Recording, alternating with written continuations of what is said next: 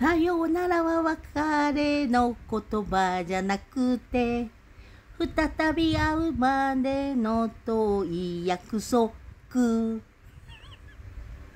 角川さんでしたか？ああなるほど。うん。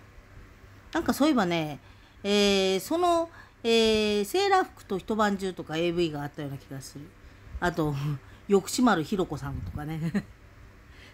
まあ侮辱もんだよね。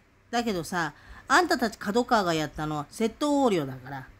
えー、その角川関係が、えー、損保ジャパンの、えー、小池優也っていうあのチビの漫画家だろ。で堀口は同人誌で角川グループの、えー、戦火にいたってわけでしょ。角川ってね確かね薬物の件でね一回逮捕歴があると思ったよ。うん、で今回の件で、えーまあ、保険金詐欺窃盗横領としてその、えー、鬼滅の刃ワンピースワンピースは川崎希がワンピース事業を私の後遺障害金でやりやがったんだよ。坂本勇と田村悟が。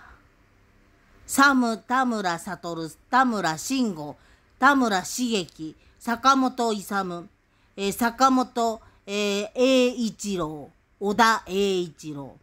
この連中です。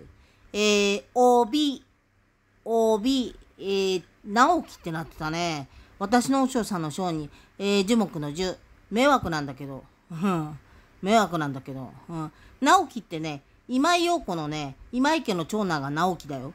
うん。えー、中村直美の直と同じ。チョッコさんの方ね。で、樹木の樹。だから大樹の会は、今井直樹がやってたんだな。うんお前のほら、今井陽子の、あの、長男。今井家の長男が直樹っていうの。だから体重の会だったんじゃない？うん。え、迷惑だよ。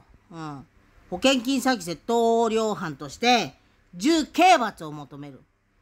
存続殺人未遂、保険金詐欺窃盗横領事件。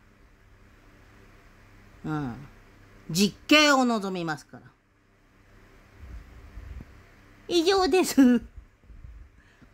以上です。